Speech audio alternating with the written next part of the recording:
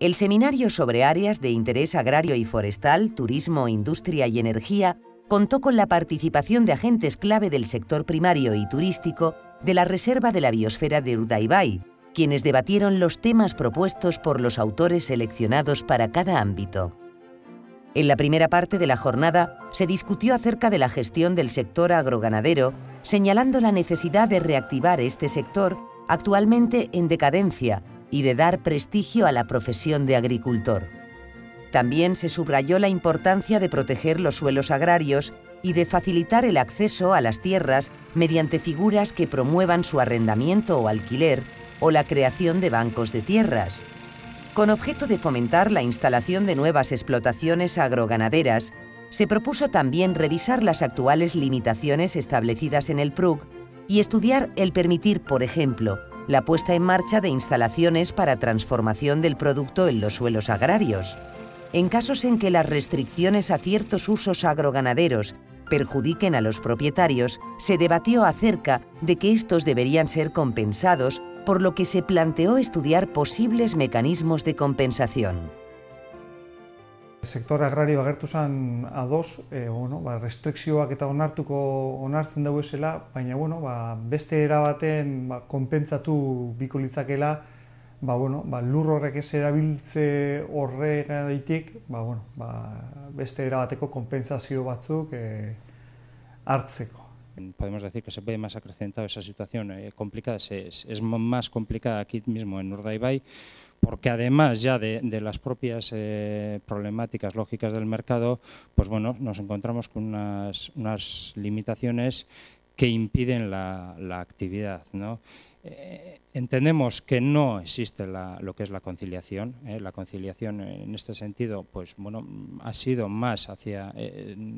esta, la, normativa implantada, pues bueno, viene más a perjudicar que a conciliar lo que es la, actividad agrícola y ganadera y también forestal en, en, en la agricultura sostenible tiene características que no tiene ningún otro sector económico. Tenemos la materia prima tenemos eh, la materia prima para producir la alimentación. Aquí tenemos una tierra fértil, tenemos agua, tenemos semillas, también tenemos la mano de obra, tenemos el conocimiento para poder producir la alimentación y también eh, tenemos el mercado local para que se pueda dar eh, esa, venta y ese, ese, cierre ese círculo. ¿no?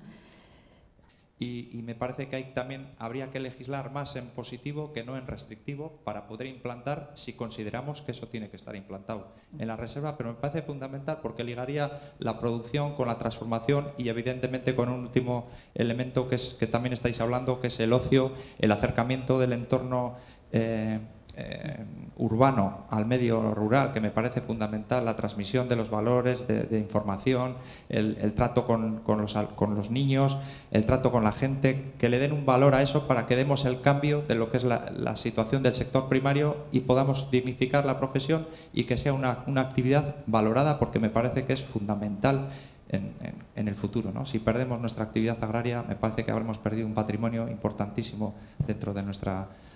de, nuestra comarca. Pues Pasalán es el que está gestionando el recientemente creado Fondo de Suelo Agrario. Ha sido en septiembre del año pasado y bueno, pues hemos estado en la medida que hemos podido informando a la gente, haciendo reuniones tonales y nos estamos encontrando con un problema pues bastante fuerte, que es que solamente hemos podido convencer a un particular para la aportación de suelos eh, para su arrendamiento.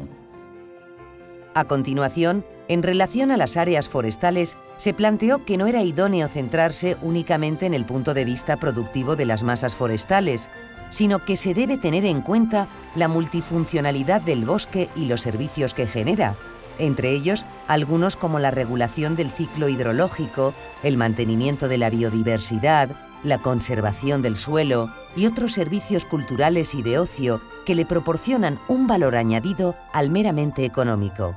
Se plantea, al igual que en el sector agrario, estudiar los posibles mecanismos de compensación para los propietarios por utilizar otras especies que contribuyan a mantener estos servicios, como podrían ser el pago por servicios ambientales, el adelanto de rentas o la implementación de ciertas políticas fiscales. También se trataron temas como la efectividad de la certificación forestal, la necesidad de optimizar la red de pistas forestales y la alta combustibilidad originada en algunos suelos debido a la regulación de usos y la falta de una gestión adecuada. Eh, el colectivo de propietarios forestales estamos eh, comprometidos por la realización de una gestión forestal sostenible, pero entendemos que la financiación de aquellas actuaciones ambientales que no puedan ser rentabilizadas por el propietario deben de provenir de todos los beneficiarios y no solo del propietario o gestor privado. O sea, el propietario forestal, además cada vez más desvinculado del uso del terreno, no puede, eh, no entra en su cabeza el hacer una repoblación de cualquier especie en la que no vea en un plazo de tiempo de su vida, es un plazo de tiempo vital que pueda, que pueda ejecutar eh, el dinero en el que, que ha invertido. Eh, esto lo digo porque creo que el nuevo PRUG debería tener un, enfoque positivo, tendiendo a, como se ha hecho en otros espacios naturales, eh, establecer de alguna forma mecanismos de compensación para que se haga atractivo al, al, propietario particular el utilizar otras especies distintas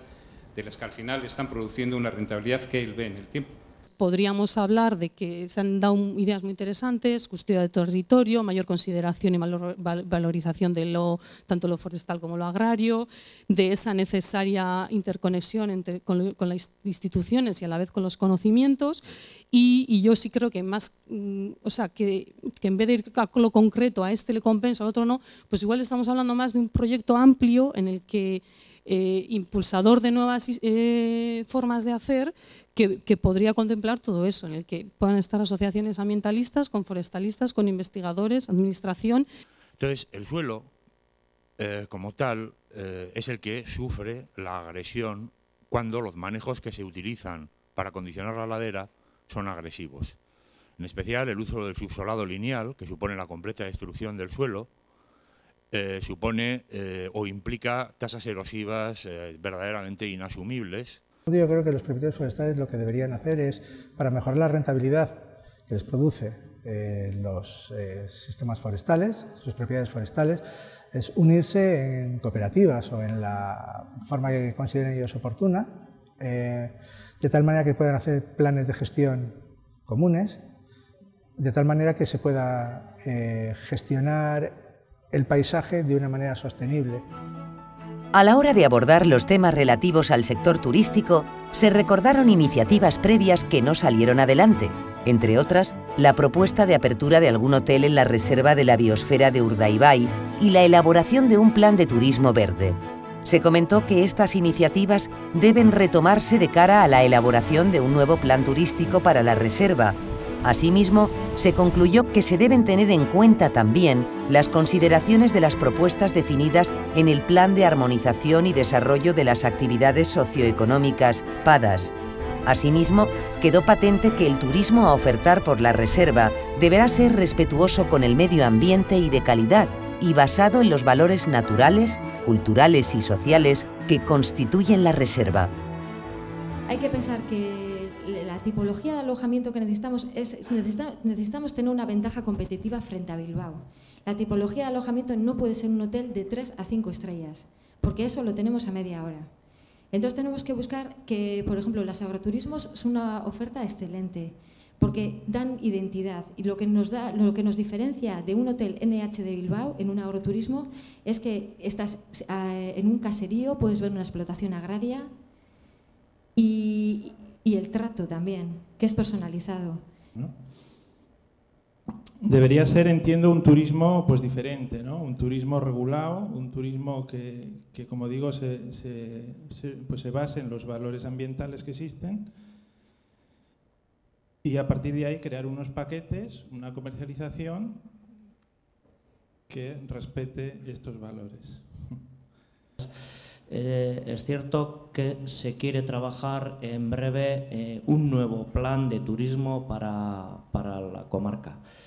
Eh, y en este sentido también los pasos, los últimos pasos que, que, se han dado a nivel comarcal y creo que han sido muy fructuosos, están siendo muy fructuosos, han ido en el sentido de vertebrar el turismo. Hoy en día creo que tenemos eh, bastante, bastante vertebrado. Existe una mesa sectorial, existe una mesa técnica, existe una mesa de turismo. Bueno, los pasos eh, del turismo en, la, Urdaibai van un poquito en ese, en ese sentido.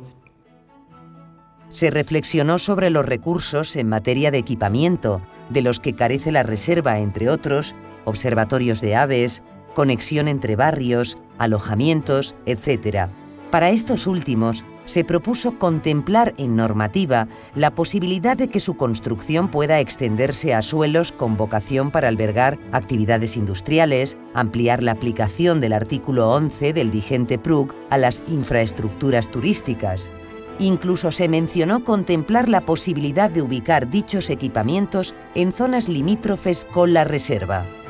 Por otro lado, se analizó la situación de la movilidad en época estival, derivada de la afluencia de vehículos a los arenales de la reserva, proponiéndose el fomento del transporte público, tren, autobús a un precio económico, la creación de aparcamientos disuasorios en Guernica, el uso del ferry, etc., como posibles medidas a tomar para mitigar dicho problema. Respecto al cumplimiento de la normativa vigente por parte de las actividades recreativas que se desarrollan en la ría, se destacó la carencia de un servicio de vigilancia y guardería. Finalmente, durante el análisis del sector industrial y energético, se abogó por recuperar lo establecido en el Plan Director Energético Medioambiental de la Reserva de la Biosfera de Urdaibai, caducado en el año 2010, para cuya consecución, entre otras, se debería tomar la siguiente premisa. La implantación de nuevas infraestructuras de energías renovables se deberán llevar a cabo teniendo en cuenta la adaptación de las mismas a las infraestructuras preexistentes. Ingurumenaren e, babesa edo e, lortzeko eta urdaibaiko garapena e, bultzatzeko bai e, e, existitzen da edo jadanik egina dago plan director, median, plan director energetiko de la reserva de la biosfera eta e, berraktibatu egin beharko litzateke plangintza hori jadanik e, agortuta dagoelako. 2010ean agortu zen eta e, hainbat ekintza e, oraindik egiteke daude. a que rescaten el plan energético medioambiental de Urdaibai, que yo creo que era modesto, era, bueno, no producía muchos titulares, pero bueno, yo creo que fue un camino que se inició y que, que es importante para la comarca. Además, se realizaron observaciones respecto a la necesidad de realizar estudios previos que garanticen la efectividad de dichas instalaciones se indicó que, a la hora de elaborar la nueva normativa relativa a instalaciones energéticas permitidas en la reserva, debería diferenciarse el uso particular del uso industrial al que iría destinada la instalación. Asimismo, se mencionó la necesidad de incluir la afección de dichas infraestructuras sobre el paisaje. En la recta final de esta sección, se mencionó la posibilidad de que las infraestructuras energéticas fuesen consideradas como otra actividad industrial más, lo que permitiría que dichas instalaciones tuviesen cabida en suelos reservados para uso industrial. Bueno, a, a, nivel de lo que nosotros hemos venido haciendo hasta la fecha, pues comentarte que hemos formalizado a través de esos marcos de colaboración que os decía antes con los ayuntamientos, pues bueno, pues en la zona de Urdaibai hay unas cuantas instalaciones, más de en potencia, yo creo que ahora mismo serán pues entre unos 250 y 300 kilovatios que están instalados de energía solar fotovoltaica, que son instalaciones que eh, a través de los acuerdos, como os comento, el EVE invierte en ellas y al final, al paso de los años, cuando el EVE recupera la inversión, esas instalaciones pasan a poder de los propios ayuntamientos y son los ayuntamientos las que lo explotan y las que obtienen un beneficio de las mismas.